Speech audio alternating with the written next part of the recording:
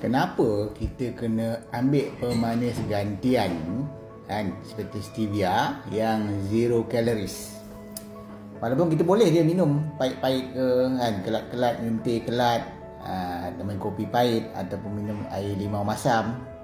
Sebab sebenarnya yang kita kena faham dari segi sains dia manis tu adalah satu benda yang positif dan dia akan mencetuskan tindak balas gembira dalam otak. Ha, jadi kita makan satu benda yang manis maka dia akan mencetuskan rasa gembira dengan pembebasan bahan dipanggil sebagai dopamin di dalam otak kita.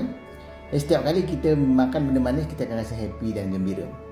Dan bila kita tinggalkan benda yang manis, kita akan mula rasa kekurangan, rasa tidak happy, tidak rasa gembira. Bila kita tengok satu benda, nampak benda itu baik, dia ingat memori yang tidak gembira.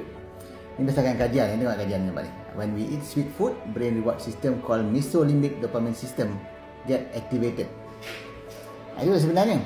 Jadi sebab tu walaupun kita rasa kita boleh uh, menggunakan uh, minuman tanpa stevia ke tanpa benda-benda pemanis lain ke tapi untuk long term kita akan mula rasa tidak happy.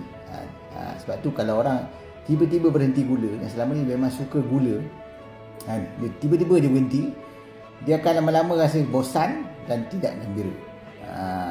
Sebab rasa sedap rasa manis ni satu benda yang reward benda yang satu mendatangkan rasa rewarding system lah. Ha, dia mesolimbik limbik tu ialah emosi ya. Ha, limbik tu ialah uh, bagian otak kita yang mengawal emosi. Jadi bila kita tak dapat benda manis emosi kita akan terganggu sebenarnya. This is where kalau kita nak berhenti gula susah. Sebab tu gula ni ada masalah sebagai, sebagai sugar addiction. Disebabkan kajian tadi kajian yang ni.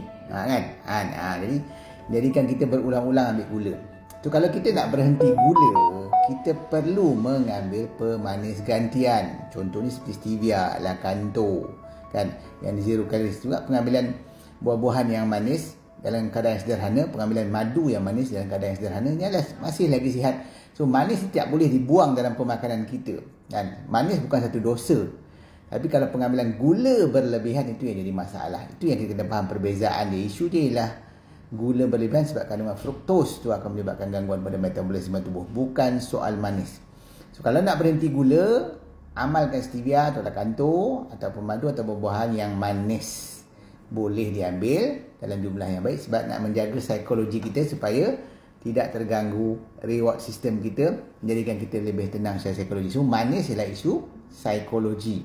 Menjadikan kita gembira, tenang dan rasa seronok bila kita makan Itulah kepentingannya mengambil stevia sebagai pengganti gula untuk mendapat kemanisan yang sihat.